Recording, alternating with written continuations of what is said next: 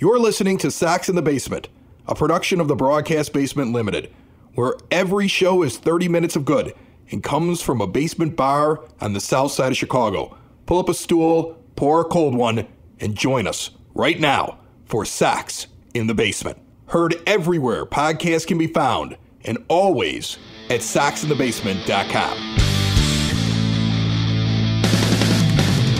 What do you think about the Joey Gallo stuff? Because it, it got out, it was put out by one person, nobody else said it. The person that put it out uh, on social media has kind of backtracked on it a little bit. The idea that the White Sox were talking with and may go after a Joey Gallo, and I went and I looked it up, and I mean, a guy with a lifetime 199 batting average who hasn't had an OPS that justifies such a low batting average since midway through 2021, even though he's a plus defender, doesn't excite me very much. No, well, it, it's the same thing. When somebody asked me earlier in the offseason, what did I think about the Sox going after Cody Bellinger after he was uh, non tendered, right? And it, it's one of those like Joey Gallo for the right price, sure. You want to take a flyer on the guy. You want to take a flyer that he can go back to that that 2021 season where you know the batting average wasn't below the Mendoza line, where he's hitting home runs, where he's a plus defender. You want to give this guy a minor league contract? Beautiful. But when I heard one year for 10 million dollars, that that made me sit there and go, well, what what are we doing here? What th- th- you cannot tell me that Joey Gallo at 10 million dollars is a bargain, or that this is the kind of free agent that you want to go after. It just it, it didn't make a lick of sense to me, which is why I was so glad when I started not seeing it gain traction. When you're not seeing, you know, the Heymans and the Rosenthal's start, you know, pushing it out there. You're not, seeing the, the given when Bob Nightingale says, yeah, this is a done deal. You watch these things go, but what I thought was funny about the whole situation was just how quickly the traction got, how starved White Sox fans are for any kind of action, that something like that became such a lightning rod in such a short amount of time for it to sit there and, and, and really kind of take on a life of its own that the Sox were doing this. When I, I really do think that Joey Gallo is the kind of guy that's going to get, he's going to get a minor league contract. Is at least that's what he's earned at this point, right? He's earned a shot to come back and try and make a comeback, but he has not earned a guaranteed contract based on what he's been with the Rangers the past couple years, what he was with the Yankees, even even the little bounce back he had with the Dodgers, you know, and, and how they used him. This episode of Sox in the Basement and every episode of Sox in the Basement that is for fans by fans in 30 minutes of Sox available anywhere podcasts can be found and always at soxinthebasement.com is brought to you proudly by Family Waterproofing Solutions. Bowing walls, window wells, foundation and crack repair, sump pumps, gutter cleaning, anything to keep your foundation safe, your basement dry. They do it. They do it well. They do it at a great price, and they'll take additional money off if you mention Sox in the Basement. Give them a call 24 7, 708 330 4466. Your basement's best defense is at familydry.com. Ed, I, I want to start off the show with a little bit of math. Do you, do you mind? Little loose math here to, to kick off the weekend on Sox in the loose Basement. math, not, loose not some math. Sox math, a little loose math. So, it's just some basic. Like I'm just gonna kind of throw something out there because I'm so frustrated with the White Sox, and I, I've I've had people like try to debate me over. Oh, it's not just Hahn and Williams' fault. It, it's the owner, and then I've had other people go, it's not the owner. It's Hahn and Williams. It can be all of them. It really can be. But uh, Jerry Reinsdorf got 250 kids college tuition through his philanthropy and won an award during the winter meetings. That was like the big moment. I mean, and everybody's like, well, at least he's a great philanthropist. Terrible owner, right? I mean, 40 some years, he, he's won the pennant once. He's got very few chances to actually win a World Series because he's barely in the postseason. Uh, he's lowering the payroll when your expectations were this is when you were supposed to be going for it. He forced Tony La Russa on people. I can go on forever. It's a half hour show. I could talk for two hours about all my problems with Jerry Reinsdorf over the years. Let's just say that every episode of Sox in the Basement is available online, and you can listen to Chris talk for hours on end about his problems with Jerry Reinsdorf. Right. I don't want to get into it all again, but I do want to address the 250 college tuitions that are such a great accomplishment for this billionaire. Who all you have to do is Google it. His net worth is reported at 1.8 billion dollars. 1.8 billion with a B. All right. He gets 250 through philanthropy where he didn't foot the bill. I'm sure he raised this money No. through No, no, events no, and things like that, right? He didn't foot the bill. He could have Because if you have $1.8 billion, and let's say, I, I looked this up, the average public college in this country is around $21,000 a year. So let's round that up to 25 G's. Give them four years to go to school. That's $100,000 a kid times 250. You got $25 million. Wow, that's a huge number. Jerry Reinsdorf came up with $25 million. Compare that to 1.8 billion. Let me just drop off four zeros on each side. Let's let's make this more comparable. Let's say you have $180,000 in the bank. Your net worth is around 180,000. However you calculate your net worth. Like if you own a company, it might be worth a little bit more. If you're a paycheck to paycheck guy, you basically have to have $180,000 that's yours. And if you're still making payments on your house, that's not even part of your net worth, okay? Because you don't own it yet. Just whatever you have in capital in it, right? But let's say you got 180 G's, which most of us don't have, right? Okay.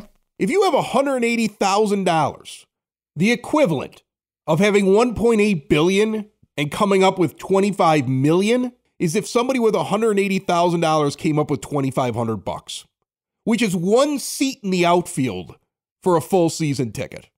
How many of you go out and buy tickets and spend more money than what Jerry Reinsdorf came up with comparably and won an award for?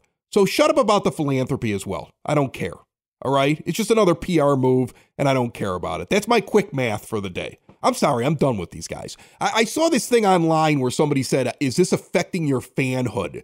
when uh, you know your fandom are you, are you done with this team because of how they've screwed things up over the years and their inability to do anything during the winter meetings rick hahn enjoying himself by the pool obviously because he wasn't doing anything and you look at the payroll being reduced and you have to deal with all the propaganda and the insult of anybody that works for let's say nbc sports who's majority owned by jerry reinsdorf trying to put positive spins on things like there was that quote from hahn earlier on in the week where he talks about maybe we'll make a blockbuster trade, but maybe we won't. No, th- that's not even what he said. That's not even what he said. He said we just have to be mindful that blockbuster trades can happen. And and and everybody else gave the full quote, like when they put the thing out, right? But Garfien just puts out the blockbuster trade part of it and then hides the the the stuff that pulls the rug away in his secondary tweet. Okay. I mean, if, if all these things that insult you as a fan, if it's built up so much, are you done with this team, right? Are you done being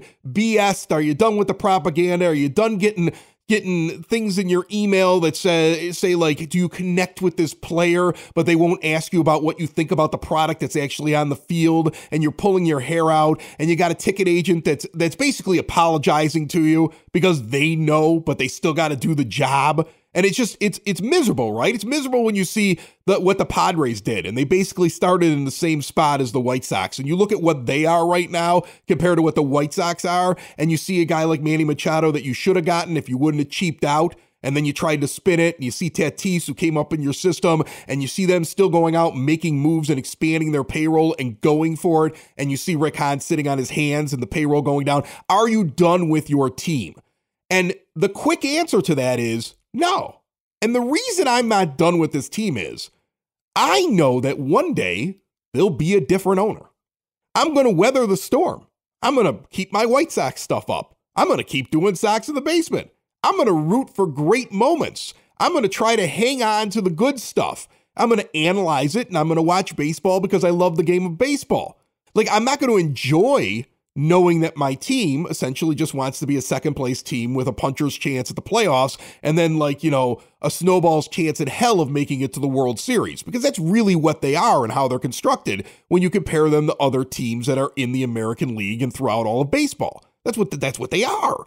I'm going to have hope opening day. I'm going to be like, "Oh, maybe, maybe 17 guys on this 26 man roster all have bounce back years."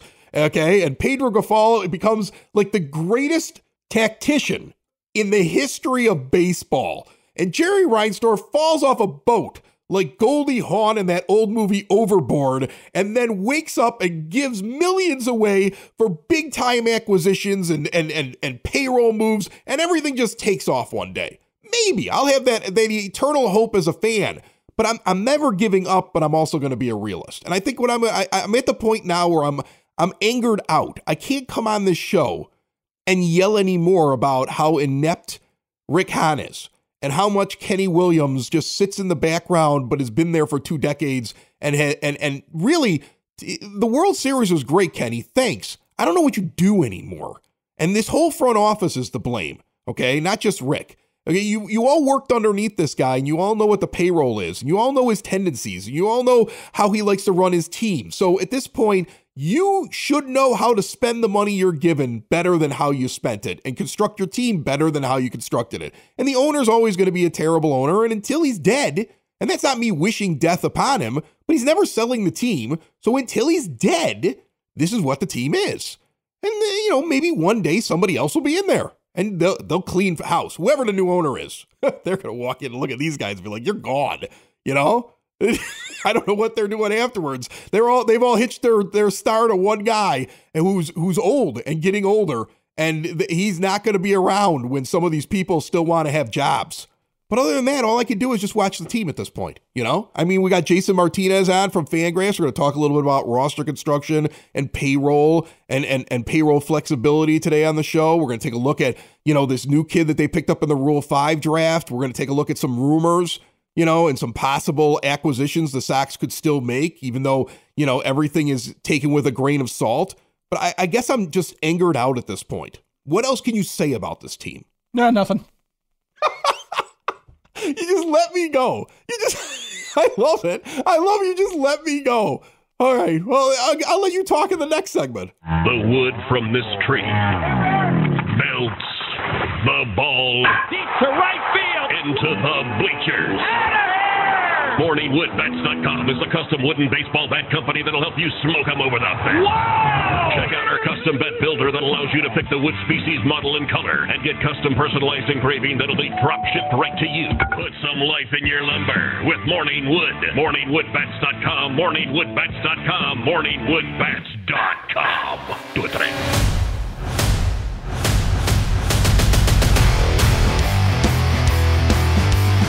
I've only asked for two things this Christmas.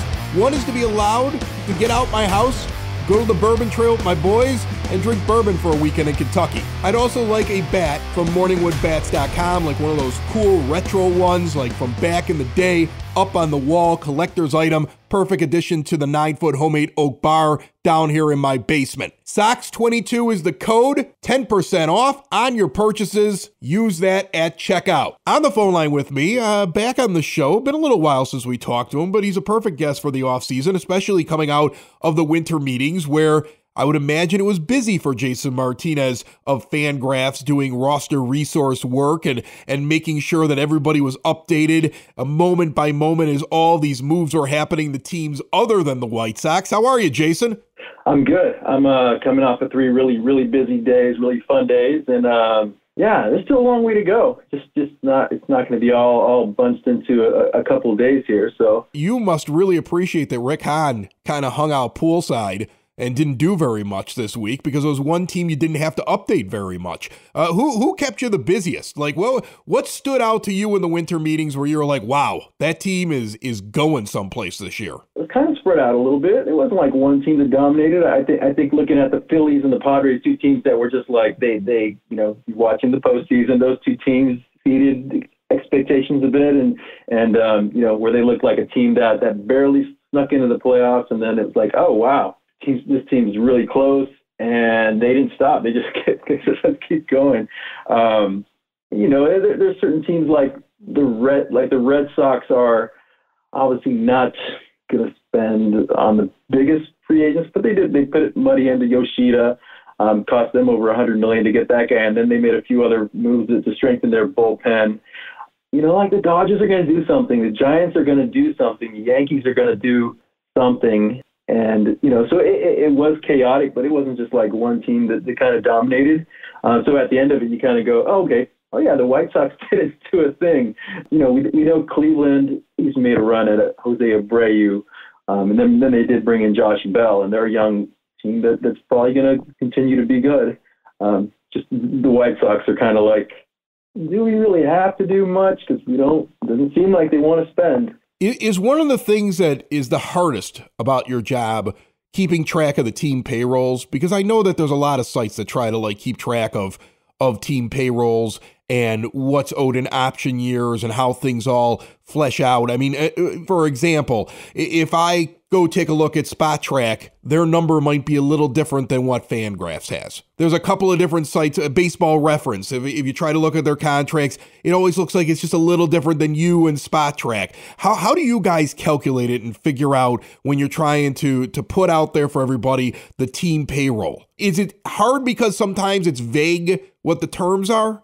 It, it can be. Initially, it, it could be vague. Most of these reporters are pretty good at, at tracking down official numbers at some point.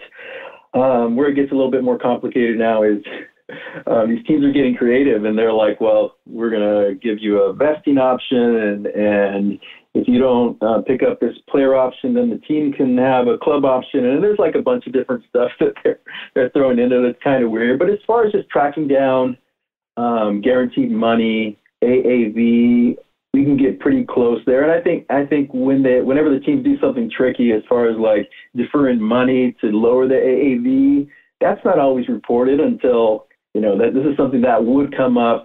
Um, like let's say a team is is getting close to that luxury tax, and some of their decisions are now based on you know how how far do we want to go over it or do we want to stay under? Oh, by the way, this reporter finally asked about this contract, and actually the AAV is lower because they deferred money money for for the next ten years or something like that. Um, so this stuff can be tricky, and it was you know honestly it was something that I I was tracking early on before the luxury tax stuff, just to kind of you know so teams could compare. You know how much are you paying each of these players on your on your roster? So let's compare. You know this team who's paying 150 million compared to this team paying that's uh, that's at 75 million. And, and even if the numbers weren't official, you can get a pretty good idea. When when you're updating all these teams, you must get a general sense for how a team is operating just by taking an overview. Like you're filling in all the the, the pages. You take a look at a team page. You go, okay, well, this is a team that's solid. You take look, take a look at another one. You go, ah, this is a team that's in a rebuild, or this is a team that's in transition. Because it's probably pretty easy to see that when you've got it all in front of you and you're watching what they're doing. You just take a look at the at the White Sox payroll page right now. This is a team that supposedly just came out of a rebuild. 13 players in 2023 have guaranteed salaries. In 2024, take options out of the equation. Non-option contracts, there's 6. And in 2025, there's one, one non optioned contract that there's somebody still under just you know that they're guaranteed and they're getting their money, and that's Luis Robert. And then you look at a page like the Padres, where those are filled in multiple years beyond that, and it would not shrink down that quickly. Are you surprised to see where the White Sox currently sit in terms of their guaranteed money, the guys that are locked in, and how quickly this team could be completely turned over.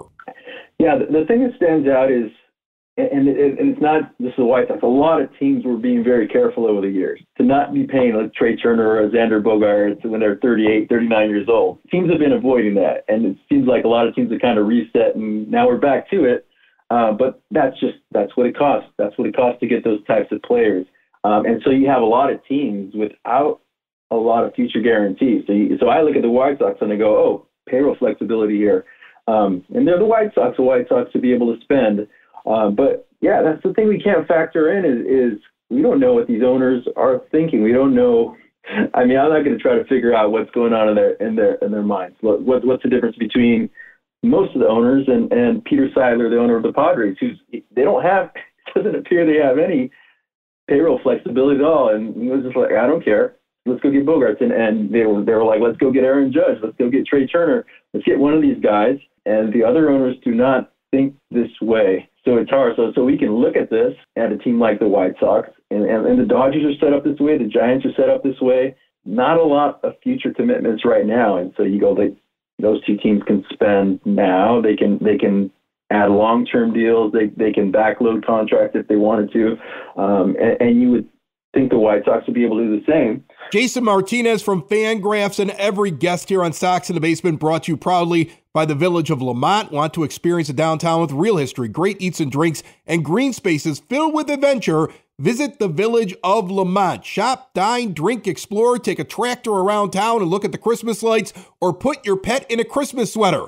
Yeah, they got a lot going on. See it all at lemontdowntown.com. Have you guys ever considered, with all the different things that you have uh, on your depth charts, uh, roster resource part of uh, the whole Fangraphs package when you go to fangraphs.com, have you ever considered like trying to figure out what the team's revenue was like the year before? Because I, I find that very curious. Like, I wonder how many teams run in the black when they figure out their payroll year in year out. And it would be like a great way to be like oh well they had this in their media contract and they had this in their in their at the turnstiles. And you know this is their the general estimate of what they probably had in merchandise. And this is what major league baseball distributed to lower market teams and stuff like that. Is that something that you've ever considered or does that just seem like it's impossible to actually calculate? How how open is major league baseball with those numbers? Uh, we had a writer for fangraphs craig edwards um, he he was a lawyer that came to write for us for for a couple years, and he would do I, at least once or twice. He did he did a, a post on a story on on revenue, and he was looking at TV contracts and things like that. And yeah, I'm sure it was a ton of research. And he he he, uh, he got hired by the MLB MLBPA, the Players Association. he got scooped up right away. He's like the one guy that cracked it.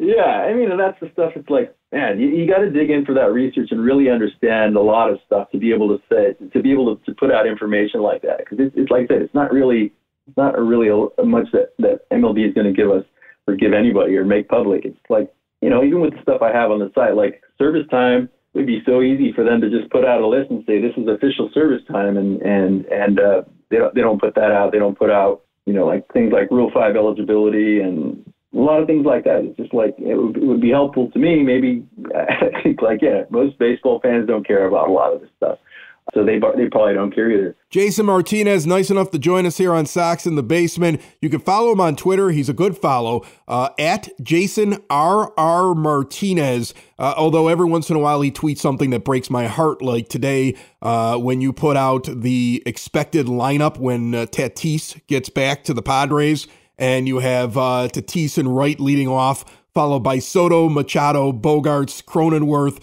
You don't know who the DH is yet, but who cares when you got Kim, Grisham, and Nola behind them? I mean, that's insane, and it breaks White Sox fans' hearts because Tatis was in our in our system and was given away for nothing. And Machado is a guy they should have had if they just would have given the same guaranteed money that the Padres offered, but they tried to cheap out. So I mean, it, like it's tweets like that Uh, every once in a while, like, oh, Jason, I don't want to see your tweet right now, but he's a good follow. Check him out, and thanks so much for joining us. Thanks for having me, Chris. Anytime. Sox in the Basement listeners, do the hard work. And if you're a hardworking man or woman on the South Side, you need to be outfitted properly. And that's why you should visit Red Wing Shoes in Evergreen Park, New Lenox, and Geneva. A work boots specialty store that carries sizes from 6 to 16 and feet as wide as 4E. A 115 year old company that came out of Red Wing, Minnesota. And one of its largest stores in the entire Midwest is in Evergreen Park, Illinois, ever since 1976. When you're on your feet, the footwear is everything. So why not get an expert fitting? They warranty, repair, and offer free conditioning with laces. And they also carry Carhartt work clothing as well. Located at 3347 West 95th Street in Evergreen Park, Illinois, at 208 East Maple Street on Route 30 in New Lenox, or at 1749 South Randall Road in Geneva. Visit them today. You work hard. You've earned it. Red Wing Shoes. Actually, Jason Martinez got to add one guy onto the White Sox roster on Fangraphs during the winter meetings when Nick Avila was selected in the Rule 5 draft.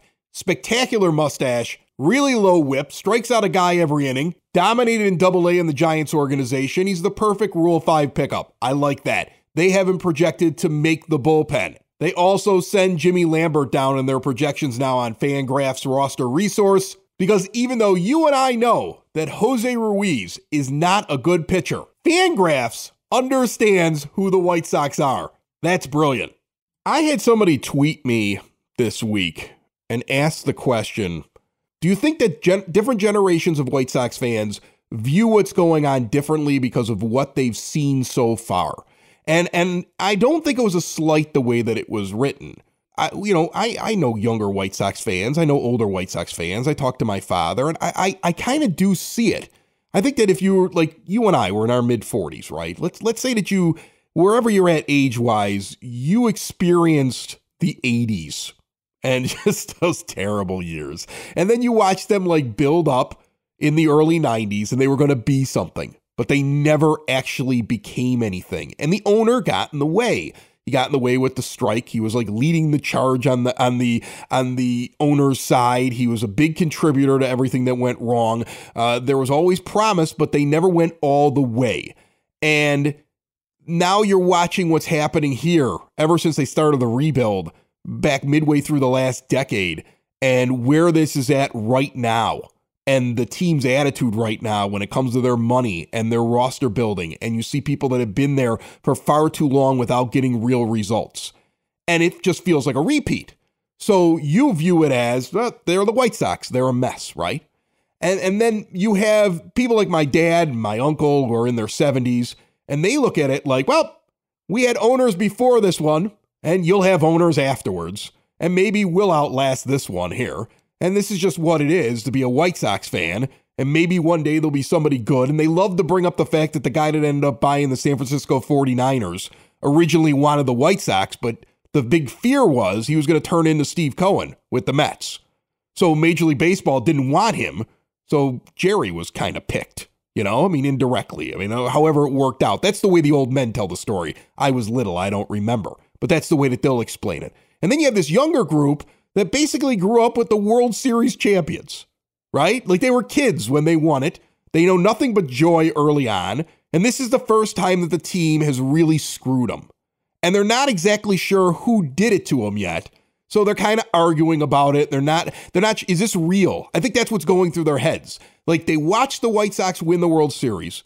Then they saw the Cubs do a rebuild and they watched it even though it wasn't their team because they all live in the same area and the Cubs are so close to the White Sox. And then they saw the Sox tell them, we're going to do the same thing as the guys on the north side, and they believed it. And this is the first time they've had the rug pulled out from underneath them, and they're confused. I mean, that's not a slight against any generation of White Sox fan, but I think that does kind of explain why Sox fans from time to time are arguing with each other over this because they have different perspectives based upon how long they've watched this team. Well, that's that's fandom. That's fandom, and I would say fandom, particularly in the city of Chicago.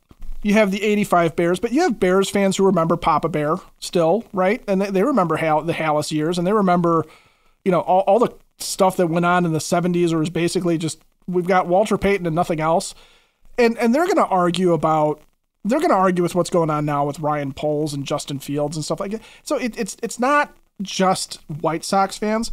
But yeah, you are naturally going to be a product of your upbringing.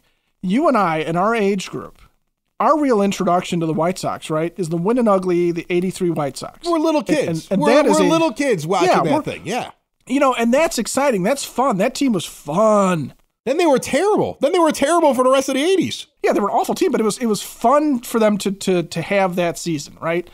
Uh, but then we watch as we're kids, we watch the White Sox flounder. We, you know, they don't do anything. But then as we're teenagers, yeah, you get that. Ah, hey, here we here we go. What did they do? They got rid of Ribbie and Roobarb, and they brought in the White Sox Wolf.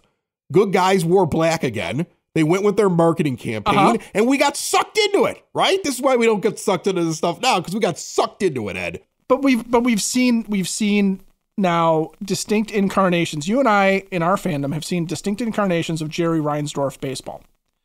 Right? We we have seen how he can be a little bit cyclical with this, how the team can have a certain amount of success and then nothing.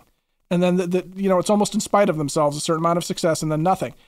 Whereas to your point about your dad and your uncle and and White Sox fans who remember Bill Veeck, who remember John Allyn, who remember, you know, a time before Jerry, they yeah they had some they had some seasons too and they had some heartbreak and they had some stuff that went on in their youthful fandom that Jerry represented a massive change and and yeah and, and they've they've been through multiple owners which you and I haven't been through. Not really right? Well I think I think that the way that they look at it is before Reinsdorf they only went to the World Series let's say in 59 that's when they go right? But when you talk that, to that, that generation it they look at owners like John Allyn and they go, he did the most he could with the money he had because he really wanted to win. That's how they'll, that's how they'll talk about him. A lot of White Sox fans who are older, Right. They'll talk about Bill Veeck as here's a guy who didn't have anything, scraped everything together as best he could, made it fun to go to the ballpark, and did everything he could with the money he had. He just wasn't rich. They look at Reinsdorf and they go, he's rich and he should be able to spend more money. And he didn't care and he didn't try and he didn't love the team the way the other owners love the team. That's the way that, that those that saw owners before Reinsdorf will talk. But to your point, then somebody who who grew up in a post White Sox World Series era, or with with that being the team that shaped their White Sox fandom as a kid, okay, the way the '83 team shaped you and me, the 2005 team shaped them. Those guys, those fans are the concept of Bill Veeck and the concept of John Allyn, the concept of of a poor owner who loves the team and just can't, just doesn't have the resources to put him over the hump.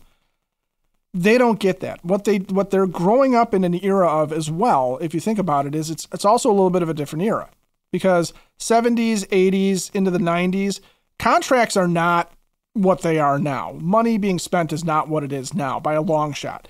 You have more fluidity in free agency. You have a lot more going on where teams can build overnight, right? The Padres can take a tactic of spending on guys like Manny Machado and Xander Bogaerts and Yu Darvish and uh, uh, you know importing guys like Ha-Seong Kim, still having you know a, a, good farm system that they've been able to, to use to leverage in trades, going and getting guys like Joe Musgrove, you know, and, and having the capital to do that, and being able to spend, or the Dodgers who can consistently outspend everybody, or the Mets who are trying to consistently outspend everybody, or for years the Yankees who consistently outspent everyone. That is is more of a product of what a younger fan is going to see.